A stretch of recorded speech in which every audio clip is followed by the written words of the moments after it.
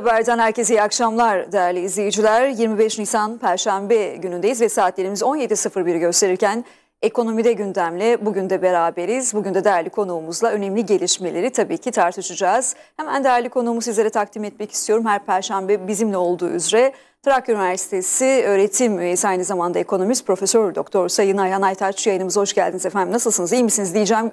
Hasta olduğunuzu biliyorum bu arada geçmiş olsun. Teşekkür ederim. E, iyiyim diyelim. E, adettendir. İnşallah daha da iyi olursak Evet, beraber. bu aa, halinizle de bizi kırmayıp e, yayına katıldığınız için ayrıca teşekkür ediyorum. Çok yormak istemiyorum sizi ama bugün önemli bir. Gelişmeler açıklandı. Daha doğrusu beklenen gelişmeler vardı ama onları bir sormak istiyorum size. Haliyle Merkez Bankası faiz oranını %50'de sabit bıraktı ki beklentiler zaten bu yöndeydi. Bunu bir konuşalım istiyorum. Sonra başlıklar alt, e, iki başlığım daha olacak. Onları da soracağım size. Buyurun neler söylersiniz açıklanan kararla alakalı. Evet, e, Merkez Bankası'nın e, faiz kararı beklenen bir karar söylediğiniz gibi ama olması gereken bir karar mı? Onda benim büyük bir soru işaretim var. Yani e, her ne kadar seçimden önce 500 bas puan arttırmış olsanız da Hı hı. e, bir önceki dönemde bir pas geçtiniz. E, şimdi bir pas geçiyorsunuz ama baktığınız zaman şöyle bir durum var. E, siz bir mücadelenin ortasındasınız ve bu mücadelede adım atmak istiyorsunuz. Yani bu e, bir örneklendirmek gerekirse bir bas şey boks maçında tam rakibinizi nakavt edecekken zil çalıyor. Taraflar e, yerlerine gidiyor. Tekrar başlıyor. Tekrardan tam nakavt edecekken zil çalıyor. Tekrar taraflar e, yerlerine gidiyor. Yani bu süreç maçı uzatan bir süreç oldu bana göre. Enflasyon da tam bir bel kırılması e, yaşanacağı anlarda Evet. biz pas geçerek maalesef mücadeleyi daha uzun vadeye doğru yayıyoruz ve e, burada da herkesin artık kabul ettiği bir şey var. Enflasyonla mücadele en fazla enflasyonla mücadelede en fazla zarar gören kesim sabit gelirli kesimdir. Ve Türkiye'de özellikle son yıllarda gelirdeki erimeyle beraber, satın alma gücündeki erimeyle beraber daha geniş kitleye sahip olan bir sabit e, gelirli kısım var ve her mücadelede harcanan bir gün bu grup üzerinde maalesef olumsuz etkilere Evet. sahip. Olması gereken neydi diye sorarsanız ben her zaman söylüyorum. Olması gereken enflasyonda kalıcı bir düşüş eğilimi görene kadar e, faiz artışlarına devam edeceksiniz. Yurt dışından bu şartlar altında e, yabancı sermayenin de gelmesi çok zor. Yani sizin enflasyonunuz %70'ler seviyesine gelecek. Faiziniz işte bileşik faizle beraber %57'ler seviyesine gelse dahi e, net bir kayıp var aslında. Enflasyon farkı kadar %13'lük, %17'lik zaman zaman e, negatif farklar oluyor. Bu şartlarda yabancı yatırımcı da gelmeyecek. O yüzden bir an önce rekabetçi bir faiz oranına ulaşılması gerekliliği söz konusuydu. Biz gerek Şubat ayındaki pas geçişte gerek şimdiki pas geçişte maalesef bu süreçleri olumsuz değerlendirdik diye söyleyebilirim. Bu enflasyonla mücadelede e, atılan adımların biraz yerinde sayması gibi bir sonuç doğuracaktır. Bu sonuçtan da başta sabit gelirli vatandaşlar olmak üzere Evet. akabinde KOBİ'ler olmak üzere e, ekonominin genelinde bir e, negatif yansıması da oluşacaktır diye de söyleyebiliriz. Evet. Ee, Şimdi yine tabii ki uluslararası arenada e, diplomasiler sürüyor ve bu anlamda güzel bir gelişme yaşandı. Cumhurbaşkanı Sayın Recep Tayyip Erdoğan 13 yıl aradan sonra Irak'a ziyarette bulundu ve bu anlamda orada mevkidaşlarıyla görüştü ve neticede 26 anlaşma imzalandı. Haliyle siyasi boyutundan ziyade ekonomik boyutunun ne kadar e, önemli olduğunu da biliyoruz. Dolayısıyla kalkınma yolu projesinden bahsediyorum. Bunun özellikle önemini e, vurgulamanızı istiyorum ve bölge açısından da geleceğini merak ediyorum. Gerçekten güzel gelişmeler yaşanıyor bu anlamda e, diyorum. Hem siyasi anlamda hem de yine e, ülkemizin e, tabiri caizse bir e, kara belası olan terör e, e, unsurlarının da ortadan kalkması için ortak harekat e, hareket edileceği de çok konuşuluyor zaten e, taraflar arasında. Dolayısıyla yine kalkınma yolu projesinin özellikle bir baharat yolu ki tarihte ticari ilişkilerin gelişmesinde ne kadar önemli olduğunu biliyorduk. Haliyle öyle bir e, yolun olabileceği yine ticaretin gelişmesi açısından önemli olacaktır. Öyle değil mi? Nasıl değerlendirirsiniz? Evet, tarih boyunca bakıldığında yolların aslında öneminin ne kadar büyük olduğunu görüyoruz. İşte e, ünlü söz her yol Roma'ya çıkar sözü Roma'nın e, belli bir dönemde Avrupa'nın merkezi olması durumunu ortaya koyan bir unsur.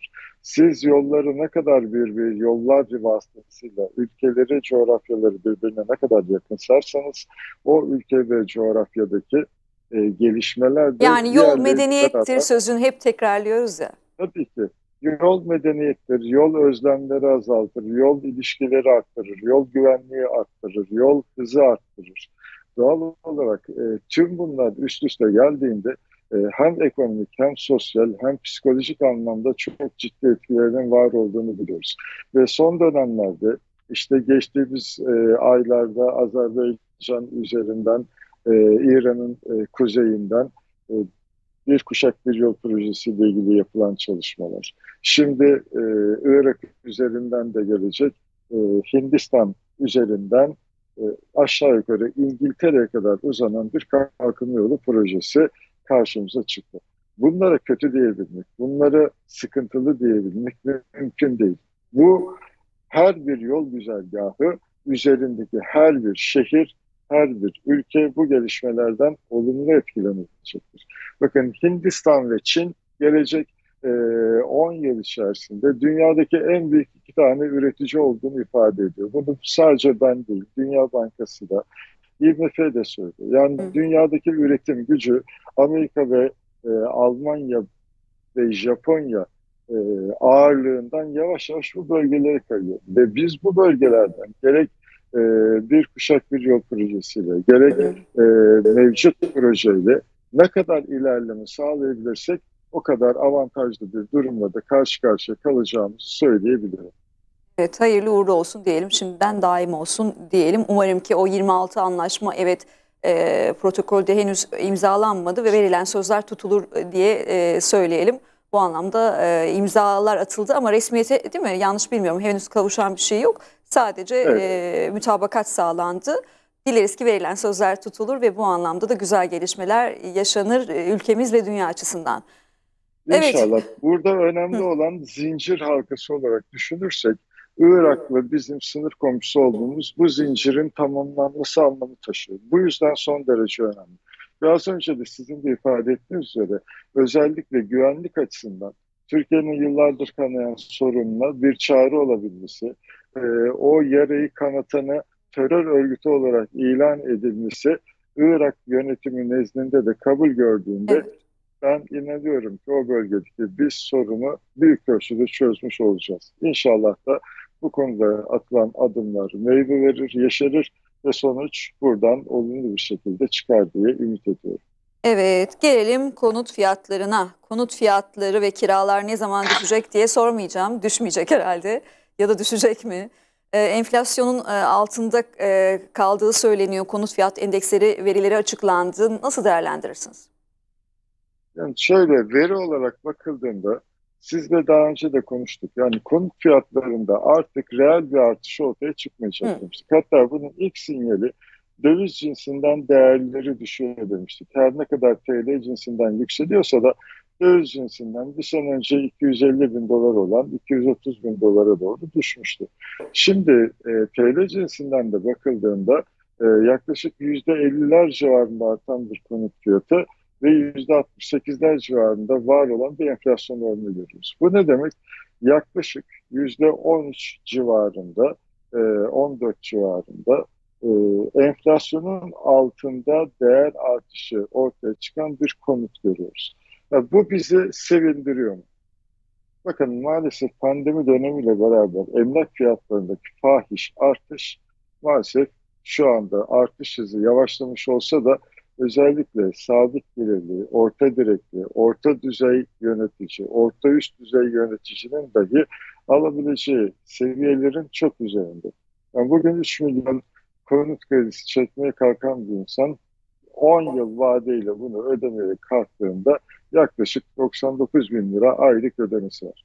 99 bin lira bu aylık ödemeyi e, Türkiye'de kaç kişi yapabilecek? Artı 3 milyon çektiği krediyle evi alabilmesi mümkün değil. Cebinde de en az bir 3 milyon daha olması gerektiği inancı içerisinde konut fiyatları e, düşse de düşmese de konut talebinde azalma devam edecek bir süreçtir. Bunda hiç kimsenin bir şüphesi olmasın. Maalesef ve maalesef ilerleyen süreçlerde Türkiye'de konutlarını elden çıkarmak isteyen müteahhitler, konutlarını elden çıkartmak isteyen satıcıların olduğunu göreceğiz.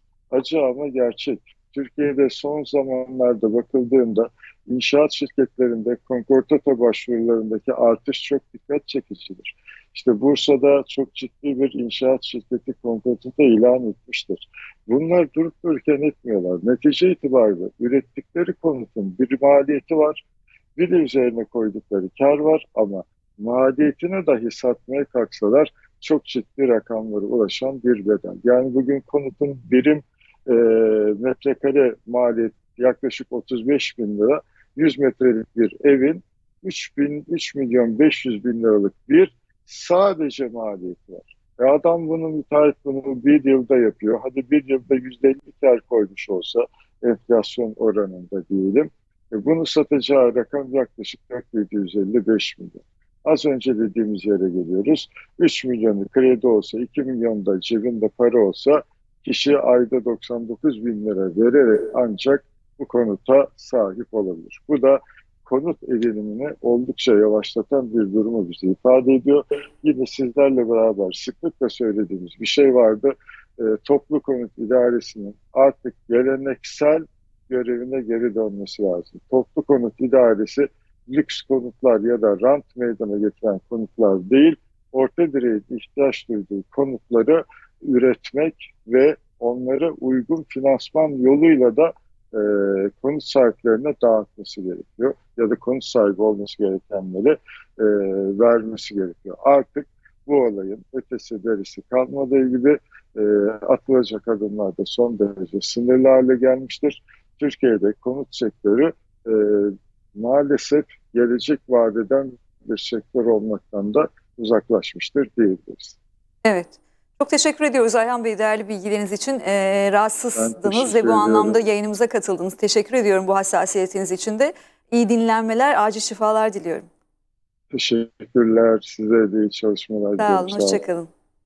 Evet değerli izleyiciler, e, Profesör Doktor Ayhan Aytaç'la yine bugün gündemin önemli konularından biri Merkez Bankası faiz oranını %50'de sabit bıraktı. Özellikle bunu tartıştık ve kalkınma yolu projesinin ne kadar önemli olduğunu tekrar vurguladık. Haliyle konut fiyatlarına da bir e, göz gezdirdik. Şimdi yine haber turumuzla baktığımızda ekonomiye dair gelişmeler iç ve dışta neler yansıdı onları sizlere aktarmak istiyorum. Bugün yansıyan haberlerde kısa kısa geç, e, geçecek olursak Türkiye Cumhuriyeti Merkez Bankası TL zorunlu karşılıklara uygulanacak faiz oranını yükseltti ve Merkez Bankası'ndan şöyle bir açıklama geldi.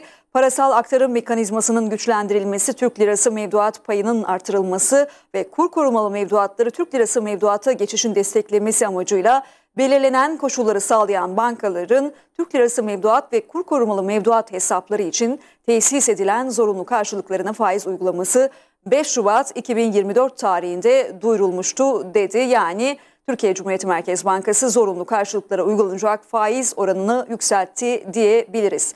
Bir diğer haberimizde de yine e, yansıyan haberlerde hemen göz gezdirdiğimizde ABD'ye bir bakalım. ABD'de özellikle e, ABD ekonomisinin beklentilerin altında büyüdüğünü görebiliyoruz ve yayınlanan öncü verilere göre de ABD 2024 yılının ilk 3 ayında %1.6 büyüdü. ABD Ticaret Bakanlığı 2024 yılı Ocak-Mart dönemine ilişkin gayri safi yurt içi hasıla verisine ilişkin ilk tahminlerini açıkladı ve ABD'de öncü GSY yılın ilk çeyreğinde yıllıklandırılmış olarak %1.6 arttı. Uzmanların beklentisi büyümenin %2.4 olacağı yönündeydi. Diğer ajanslarımı taradığımda ekonomiye dair yine gelişmelerde Dünya Bankası'nın bir açıklaması var. Küresel emtia fiyatları dengeleniyor. Dünya Bankası küresel emtia fiyatlarının geçen yılki keskin düşüşün ardından dengelendiğini belirterek bu durumun merkez bankalarının faiz oranlarını hızlı şekilde düşürmesini zorlaştırabileceğini bildirdi. Borsamıza bir göz gezdirelim. Borsamızda bugün nasıl bir açılış vardı? Hemen baktığımızda şöyle haberlerimizi tekrar güncelleyelim. E, açılışta özellikle borsadaki e, bugün bir yükseliş seyri vardı ve yine verilerde de e, BIST 100 endeksindeki verilerde de e, Borsa İstanbul 100 endeksi güne 0.3 yükselişle 9753 puan seviyesinde başladı.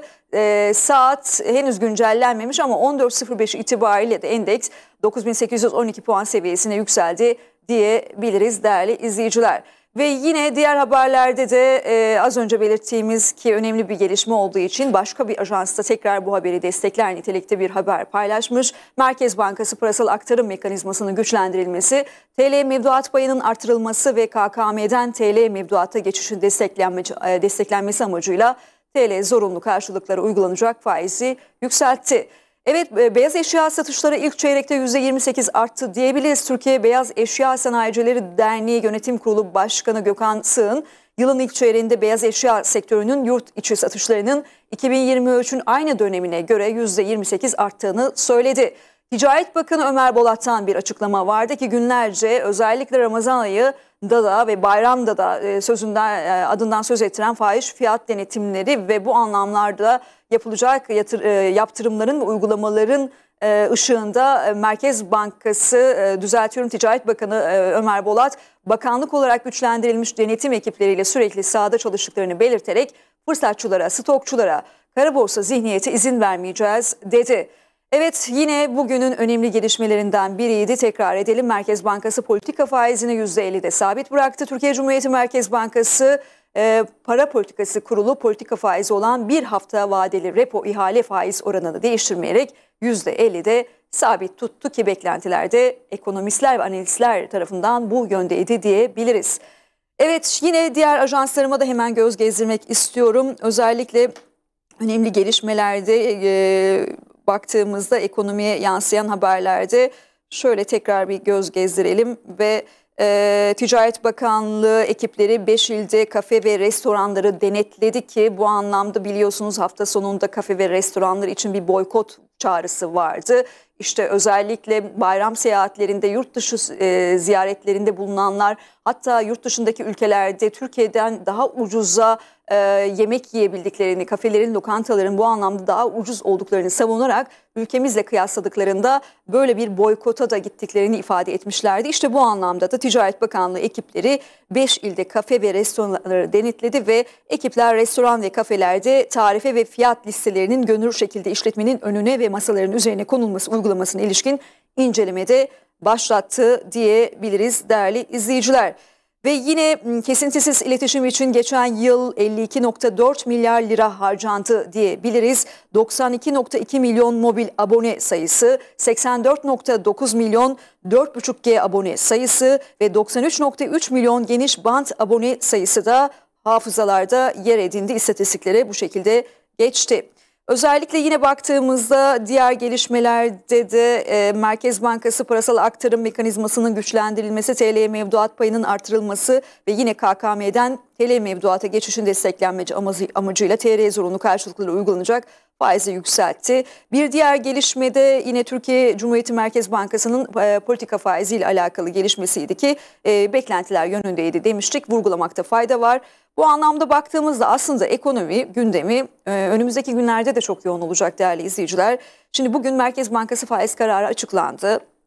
29 Nisan'da ekonomik güven endeksi verileri var onu takip edeceğiz haliyle ve yine 30 Nisan'da dış ticaret hizmet üretici fiyat endeksi ve turizm istatistikleri açıklanacak ki turizmin özellikle e, Türkiye'miz açısından bu mevsimlerde ne kadar yoğun olduğunu biliyoruz. Bu anlamda da zaten e, geçen yılda turizmde rekor kırılmıştı. Buna istinaden paralel olarak da taşımacılık da haliyle tabii ki e, rekorlara doymuyor. Özellikle Türk Hava Yolları'nın bu anlamda da e, ne kadar e, istatistiksel verilerle söyleyebiliriz ki önde olduğunu söyleyebiliriz ki turizmle de alakalı neticede. Evet yine baktığımızda Mayıs ayının ilk günlerinde ihracat rakamları açıklanacak ve 3 Mayıs'ta enflasyon verileri de açıklanacak. Zaten bunları takip edeceğiz. Özellikle o verileri sizlere aktaracağız. Yine şöyle diğer e, haberlerime de bir bakayım. Sonrasında veda edeceğiz zaten. Gözümüzden aklımızdan kaçan bir şey olmasın. Ekonomiye da, e, yansıyan haberlerde fahiş fiyata yeni düzenleme geliyor ki önemli bir gelişme. Bunu biz haberlerimizde olsun, ekonomide olsun, diğer programlarımızda olsun sıkça söz ediyoruz. Özellikle m, Ticaret Bakanı Ömer Bulat'ın da bu anlamda e, yaptırımları e, ve tabii ki söylemleri var. Dolayısıyla tekrar etmemiz gerekirse de e, fahiş fiyatla mücadele kapsamında önümüzdeki günlerde yeni düzenlemelerin yapılacağını açıkladı. Bakan Bolat ve bakanlığın çalışmalarının devam ettiğini belirtirken cezaların 10 kata kadar arttırılması da öngörülüyor değerli izleyiciler. Haliyle yüksek enflasyon birlikte artan fahiş fiyatları tartışmaları gündemden düşmüyor ve Ticaret Bakanı Ömer Bolat da fahiş fiyatla mücadelede kararlı bir duruş sergilediklerini belirtti ve denetim ekiplerinin sürekli sahada olduğunu ifade eden Bolat, fırsatçılara izin vermeyeceğiz dedi. Anayasa Mahkemesi Haksız Fiyat Değerlendirme Kurulu ile ilgili yasa hükmünü geçen yıl iptal etmişti hatırlayacaksınız. Kararın 1 Mayıs'ta resmen yürürlüğe girecek olması nedeniyle de yeni düzenlemelere kesin gözüyle bakılıyordu. Masada formüller var. Ticaret Bakanlığı fahiş fiyatlı mücadele yasası için çalışmaları bir süre önce başladı ve bu anlamda da kanun teklifinde para cezalarının ciddi oranda artırılması bekleniyor. Ayrıca iş yerinin kapatılması dahil birçok ağır ceza yer alıyor. Bakanlığın taslak metninde üst limit 350 bin lira olan cezaların 10 kat artırılması da bulunuyor. Cezaların alt ve üst limitleri yeniden belirlenecek ve kulis bilgilerine göre de cezaların üst sınırı 2 milyon liradan 11 milyon liraya yükseltilecek. Yine 10 günlük iş yeri kapatma cezası da teklifte yer alacak değerli izleyiciler. Evet bugüne yansıyan, ekonomiye yansıyan, iç ve dışta yansıyan gelişmeleri e, anlık verilerle, anlık gelişmeler sizlere aktarmaya çalıştık. Yayında yapımda emeği geçen arkadaşlarım adına iyi bir akşam geçirmeniz dileğiyle şimdilik hoşçakalın. Música